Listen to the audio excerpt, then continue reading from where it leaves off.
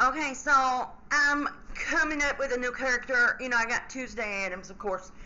And then, of course, I need a workout character. So I was thinking, you know, remember Jane Fonda, you know, feel the burn. Okay, and then Pamela Pumpkin, you know, Laura Claire's Pamela Pumpkin, you know, um, sit on Santa's lap, sit on Santa's lap, sit on Santa's lap. And I was like, oh my God, I'm gonna do Patty Fondell. Tell me if you like it. Do you like it? That's my workout name. Is going to be um, uh, my workout character.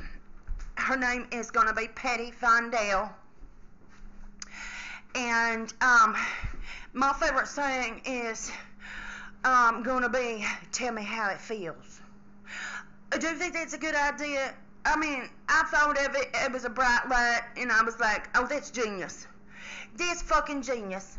Oh yeah. So so so I'm gonna be working on that character since I'm gonna find you know because I gotta find it. You know I'm a I'm a, uh, a part of my day is the every day is a workout. So um, I'm gonna come up with some routines. You know. I'm gonna walkie-talkie every day.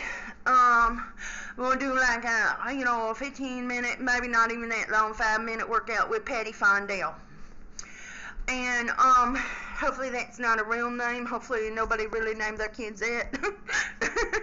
um, but um, I'm gonna be working on that character, and that's gonna be my workout character.